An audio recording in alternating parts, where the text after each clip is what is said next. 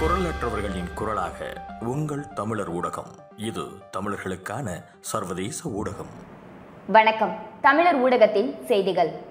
திருப்பதி இடைத்தேர்தல் பிரச்சாரத்தில் ஈடுபட்ட சந்திரபாபு நாயுடு மீது கல் வீசியதால் பரபரப்பு ஏற்பட்டுள்ளது.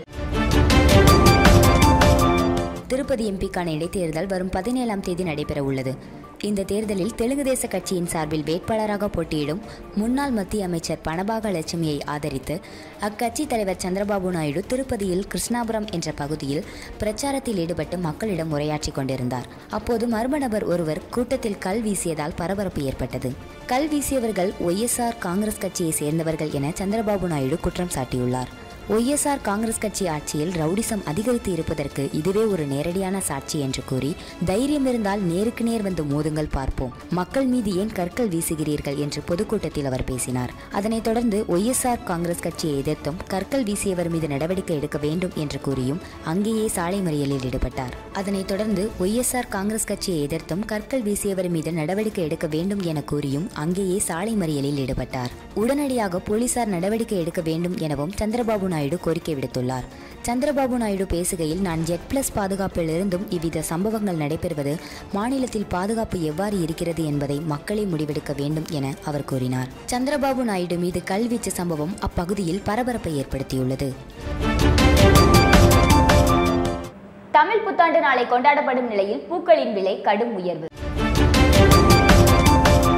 தமிழ் புத்தாண்டு நாளை கொண்டாடப்படும் நிலையில் தென் மாவட்டங்களில் புகழ்பெற்ற கன்னியாகுமரி மாவட்டம் தேவாலய மலர் சந்தையில் பூக்களின் விலை கடும் உயர்வு. சித்திரை மாத முதல் தேதியான நாளை தமிழ் புத்தாண்டு கொண்டாடப்படுகிறது. இதனை ஒட்டிய கன்னியாகுமரி மாவட்டத்தில் கேரள பாரம்பரிய முறையிலான கனிக்காணும் நிகழ்ச்சி நடைபெறுகிறது. இதனையொட்டி தென் மாவட்டங்களில் புகழ்பெற்ற தேவாலய மலர் சந்தையில் பூக்களின் விலை அதிகரித்துள்ளது. நேற்று கிலோ ஒன்றிற்கு எண்ணூற்றி ஐம்பது ரூபாய்க்கு விற்பனை செய்யப்பட்ட பிச்சிப்பூ இன்று ஆயிரத்தி எழுநூற்றி ஐம்பது ரூபாயாகவும் அதேபோல் மல்லிகைப்பூ முன்னூறு ரூபாயிலிருந்து அறுநூறு ரூபாயாகவும் வாடாமல்லி முப்பதிலிருந்து ஐம்பது ரூபாயாகவும் அரளி நூற்றி நாற்பது ரூபாயிலிருந்து இருநூறு ரூபாய் என அனைத்து வகை பூக்களின் விலையும் உயர்வடைந்தது.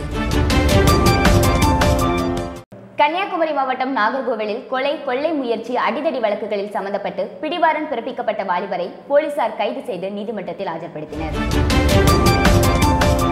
கன்னியாகுமரி மாவட்டம் நாகர்கோவில் கோட்டார் போலீஸ் சரகத்திற்கு உட்பட்ட இளங்கடையை சேர்ந்தவர் மனோ என்ற பாபு. இவர் மீது கொலை கொலை முயற்சி அடிதடி போன்ற பல்வேறு வழக்குகள் நிலுவையில் உள்ளன.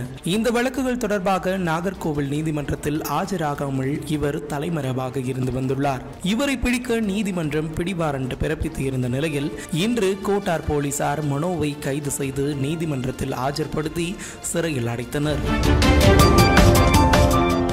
சேலம் தால்மியா அருகே அழுகிய நிலையில் மீட்கப்பட்ட பெண் சடலம்.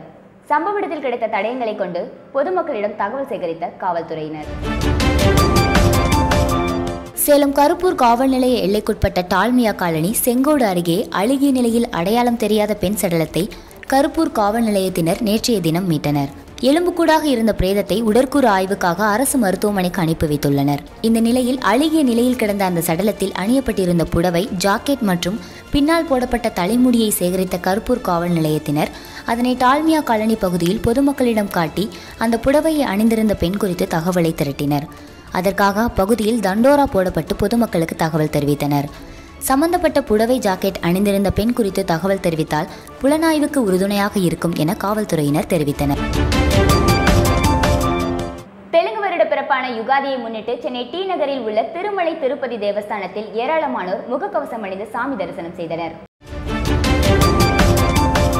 தெலுங்கு வருடப்பிறப்பான யுகாதி இன்று கொண்டாடப்பட்டு வருகிறது. இதை முன்னிட்டு சென்னை தியாகராய நகரில் உள்ள திருமலை தேவஸ்தானத்தில் காலை ஐந்து மணிக்கு நடை திறக்கப்பட்டு வெங்கடேச பெருமாளுக்கு புதிய பட்டு வஸ்திரம் சமர்ப்பிக்கப்பட்டது. இதைத் தொடர்ந்து சுப்பிரபாதம் தோமாலை சேவை நெய்வேத்தியம் உள்ளிட்ட பூஜைகள் நடத்தப்பட்டன. காலை எட்டு முப்பது மணி முதல் பத்து நாற்பது மணி வரை பக்தர்கள் தரிசனம் செய்ய அனுமதிக்கப்பட்டு வருகின்றனர். கொரோனா விதிகளுக்கு உட்பட்டு பக்தர்கள் முகக்கவசம் அணிந்தும் சமூக இடைவெளியை பின்பற்றியும் சாமி தரிசனம் செய்து வருகின்றனர். சிவகங்கை மாவட்டத்தில் நெல் கொள்முதலுக்காக லஞ்சம் வாங்கிய ஊழியர் கைது. சிவகங்கை மாவட்டத்தில் அரசு நெல் கொள்முதல் நிலையத்தில் விவசாயியின் நெல்லை விலைக்கு வாங்க ரூபாய் பதினாறாயிரத்தி நானூறு லஞ்சம் வாங்கிய நுகர்பொருள் வணிபக் கழக ஊழியரை லஞ்ச ஒழிப்பு காவல்துறையினர் கைது செய்தனர். சிவகங்கையை அடுத்த புல்லுக்கோட்டையில் நுகர்பொருள் வணிபக் கழகத்தின் மூலம் அரசு நெல் கொள்முதல் நிலையம் செயல்பட்டு வருகிறது. இங்கு சுற்றுப்பகுதிகளைச் சேர்ந்த விவசாயிகள் தங்கள் வயலில் விளைந்த நெல்லை கொண்டு அரசிடம் நேரடியாக விற்பனை செய்வார்கள். இங்கு விற்பனை செய்யும் நெல்லுக்குரிய தொகை விவசாயிகளின் வங்கிக் கணக்கில் நேரடியாக செலுத்தப்படும். இந்த நெல் கொள்முதல் நிலையத்தில் மகேஸ்வரன் என்பவர் ஊழியராக பணியாற்றி வருகிறார்.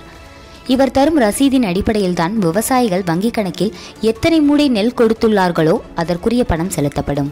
இந்த நிலையில் மருதங்குடி பகுதியைச் சேர்ந்த அருளானந்து என்பவர் தனக்கு சொந்தமான ஐநூற்றி நாற்பது மூடை நெல் மூட்டையை இந்த விற்பனை மையத்தில் கொண்டு வந்து கொடுத்தார். இந்த நெல்லை விலைக்கு எடுக்க ரூபாய் இருபத்தி ஆறாயிரத்தி நானூறை லஞ்சமாக கொடுக்கும்படி மகேஸ்வரன் கேட்டுள்ளார். பின்னர் கடைசியாக ரூபாய் பதினாறாயிரத்தி நானூறை கொடுத்தால் போதும் என்று கூறியுள்ளார். இது குறித்து அருளானந்து சிவகங்கையில் உள்ள லஞ்ச ஒழிப்பு காவல்துறையினரிடம் புகார் அளித்தார்.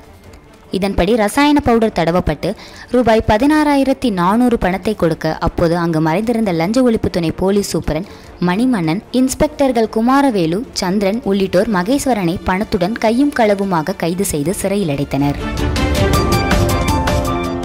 கன்னியாகுமரி மாவட்டம் நாகர்கோவில் அருகே பார்வதிபுரத்தில் ரயில் மோதி அடையாளம் தெரியாத வாலிபர் ஒருவர் பரிதாபமாக உயிரிழந்தார். அவர் யார் என்பது குறித்து ரயில்வே போலீசார் விசாரணை நடத்தி வருகின்றனர்.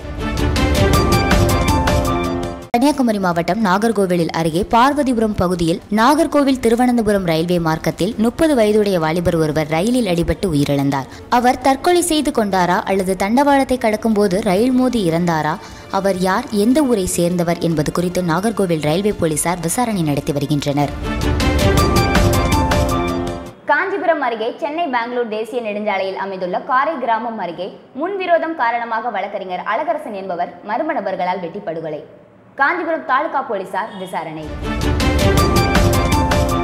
காஞ்சிபுரம் அடுத்த காரை கிராமத்தைச் சேர்ந்தவர் அழகரசன் வயது நாற்பது.